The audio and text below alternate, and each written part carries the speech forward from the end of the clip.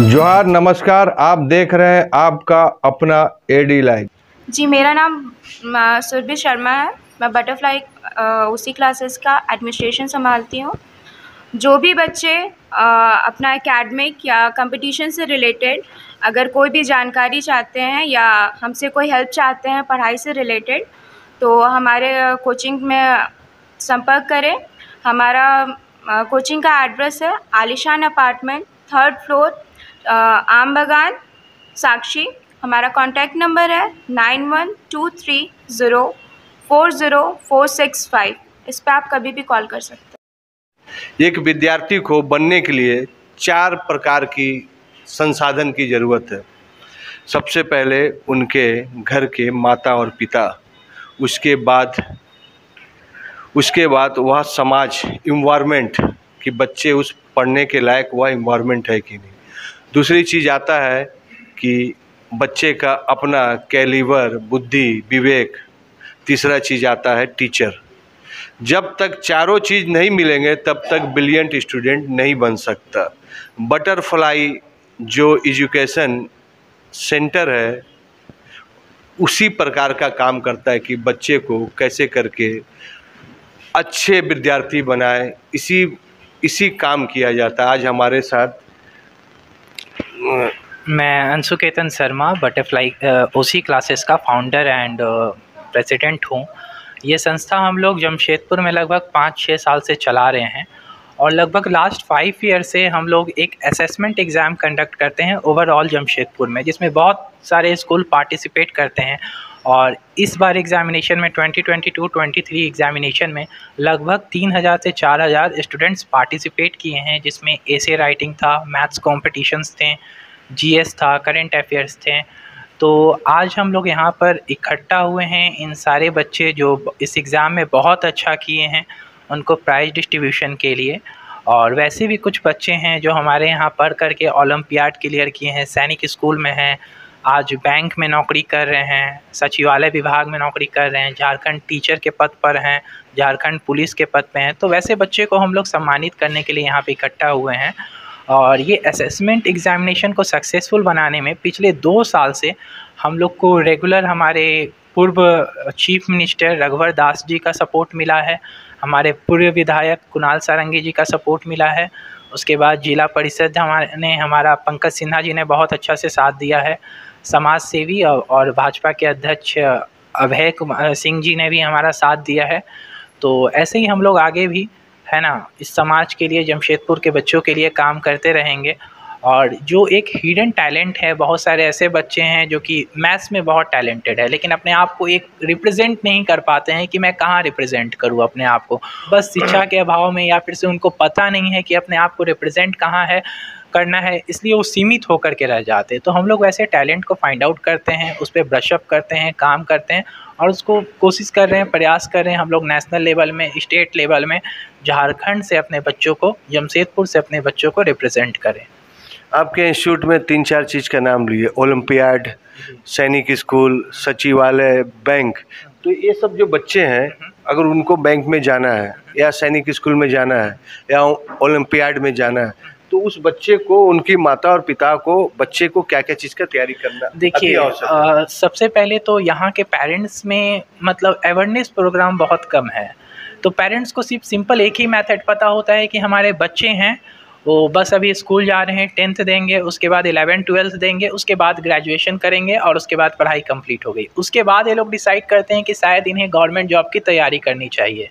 तो वैसे ही मतलब सक्सेस रेट बहुत कम हो जाता है। तो ऐसे जो बच्चे हैं, है ना, जिनको जैसे टेंथ के बाद भी हमारी भारत सरकार जो है, गवर्नमेंट एग्ज़ाम लेती है, जैसे MTS हो गया। ट्वेल्थ के बाद एस एस हो गया CHSL हो गया, ऐसे बहुत सारे ऑप्शन ओपन हो जाते हैं। अब जो स्टैंडर्ड सिक्स में बच्चा है वो सैनिक स्कूल का एग्ज़ाम दे सकता है, जो फाइव में है। वो सिक्स के लिए सैनिक स्कूल का एग्ज़ाम दे सकता है, नवोदय स्कूल का एग्ज़ाम दे सकता है स्टैंडर्ड एट में है तो नाइन्थ में भी सैनिक स्कूल में वो जा सकता है। तो एक क्या है कि आप एक अच्छे जगह पर जाते हैं तो आपको एक प्रॉपर गाइडेंस मिलता है। और दूसरी बात होती है कि पेरेंट्स इसलिए कतराते हैं कि उनका खर्च, उनका पॉकेट मनी अलाउ नहीं करता है कि हम कैसे अपने बच्चों को बाहर पढ़ने के लिए भेजें। कॉस्टिंग बहुत ज़्यादा हो जाएगा एजुकेशन बहुत कॉस्टली हो चुका है। तो मैं आप लोग सबको बताना चाहूँगा आपके चैनल के माध्यम से, जैसे रघुवर दास जी हैं, कुणाल सारंगी जी हैं, आप जिला परिषद पंकज सिन्हा जी हैं, राजकुमार जी हैं, ऐसे और भी बहुत सारे समाज सेवी जो हैं, ऐसे बच्चे लोगों का हेल्प करते हैं। अगर आपके बच्चे थोड़ी भी टैलेंटेड हैं तो उनको ब्रसअप करने में हम लोग सब लोग मिल करके हेल्प करते हैं और ये हम लोगों का काम है कि उनको कैसे आगे रिप्रेजेंट करें। तो आप सबसे रिक्वेस्ट है कि बच्चों के लिए पैसा को बैरियर बनने मत दीजिए। ऐसा ना हो कि पैसा के कारण वो एक जगह पर सीमित होकर के रह गए हैं। तो कभी भी कॉस्टिंग के कारण आपके बच्चों का पढ़ाई नहीं रुकता है अवेयरनेस प्रोग्राम के कारण पढ़ाई रुक सकता है।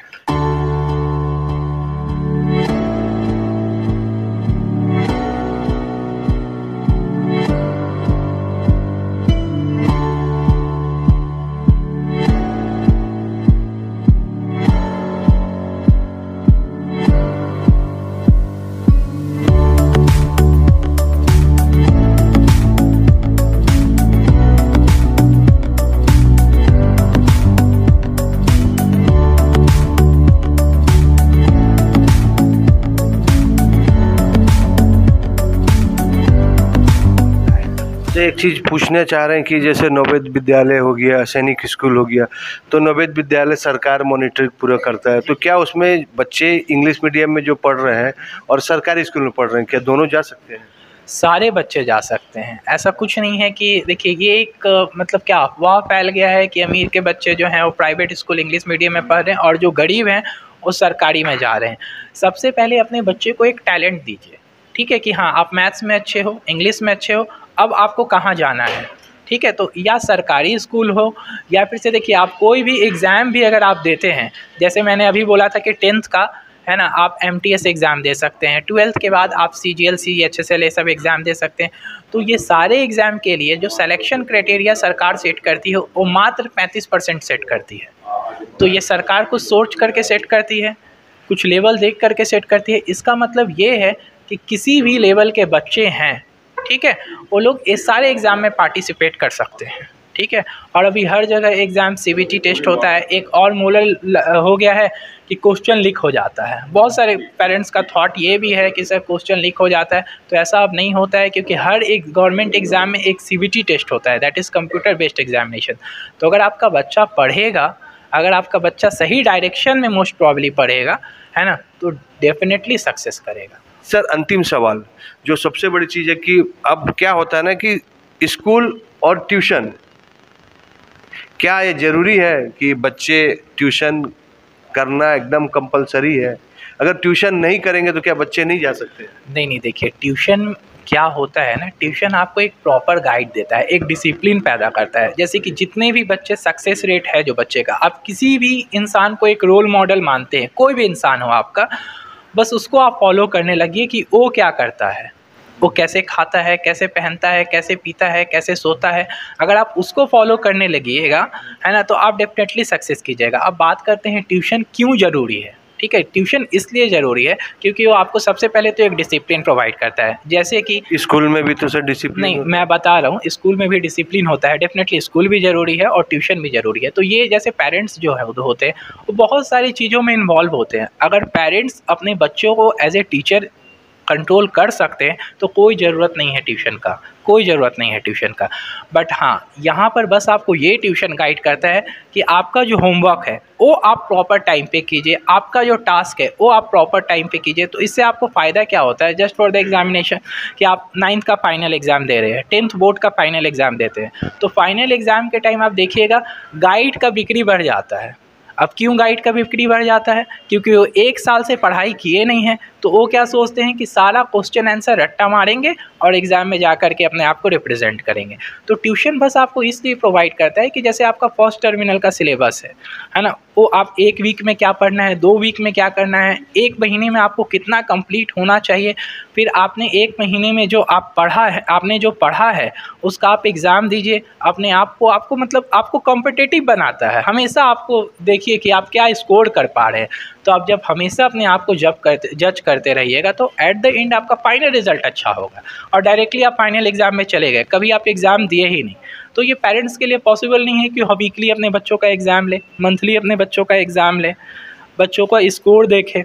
ठीक है तो ये इस ट्यूशन का काम होता है गाइड करना बस अगर आज कहाँ कहाँ के बच्चे हैं? बहुत छोटे छोटे बच्चे हैं। आज हमारे पास बहुत सारे स्कूल के बच्चे हैं एवीएन स्कूल के बच्चे हैं कुछ डीएवी स्कूल के बच्चे हैं डीपीएस स्कूल के बच्चे हैं और भी करंटी से बच्चे हैं हाँ सरकारी स्कूल के भी बहुत सारे बच्चे हैं और प्राइवेट स्कूल के भी बच्चे हैं जुगसलाई के कुछ बच्चे होंगे करंडी के बच्चे होंगे तो सारे जगह से बच्चे आए हैं आ रहे हैं हमारे पास। अभी तुम कौन स्कूल में और क्या चीज़ की पढ़ाई कर रही हम एवियन स्कूल में हैं और एट क्लास में। हैं। यहाँ पर क्या चीज़ के लिए आप पार्टिसिपेट किए? क्या चीज़ के लिए आप पुरस्कार लेने के लिए आए हो? वो मैम ना फ़ोन की थी कि सिलेक्शन हुआ है तो इसलिए हम आए क्या चीज़ का सिलेक्शन हुआ? कुछ बटरफ्लाई में वो आई थी स्कूल तो वो कही थी कि इसमें जो बच्चा भाग ले सकता तो हम लिए थे तो वही उसी का है। क्या चीज़ का एग्ज़ाम हुआ था बटरफ्लाई में? बटरफ्लाई में जी के और एस का। जी के ऐसे में आप कहाँ से आए बेटा?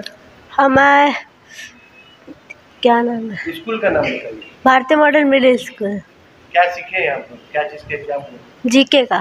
जी के आप कहाँ से आए मैं एभियन हाई स्कूल से आई हूँ और यहाँ पे बटल बटरफ्लाई ओसी क्लासेस से एग्ज़ाम लिया गया था जिसमें मैं सिलेक्ट हुई। आप कहाँ से आए हम भी सेम एवियन हाई स्कूल से आए हैं। हर बच्चे का भी दिमाग और ब्रेन एकदम खाली होता है। उनको सही दिशा देना, सही जानकारी देना, सही मार्गदर्शन देना और सबसे बड़ी चीज़ है कि वह बच्चे को ज़रूर प्रेरित भी होना चाहिए कि बच्चे सिर्फ़ पढ़ाई में ध्यान दे और किस, किसी चीज़ में ध्यान नहीं दे। अच्छे टीचर और अच्छे कोच का भी ज़रूरत है, तभी जाकर आप अच्छे टीचर बन सकते हैं, अच्छे वैज्ञानिक बन सकते हैं एयरफोर्स बन सकते हैं, और सबसे बड़ी चीज़ है कि वह अपने ड्रीम को सक्सेस कर सकते हैं। बटरफ्लाई यही काम कर रहा है, चाहे बच्चे निम्न आय के हों, चाहे अच्छे घर के हों, सभी को लेकर चलना बटरफ्लाई का स्कीम है, और बटरफ्लाई इसमें अच्छा काम कर रहा है, और एडी लाइफ की पूरी टीम इस काम में हर समय बटरफ्लाई का साथ देते रहेगी। एडी लाइव का वीडियो को शेयर कीजिए, लाइक कीजिए। एडी लाइव की पूरी टीम की ओर से सभी को धन्यवाद।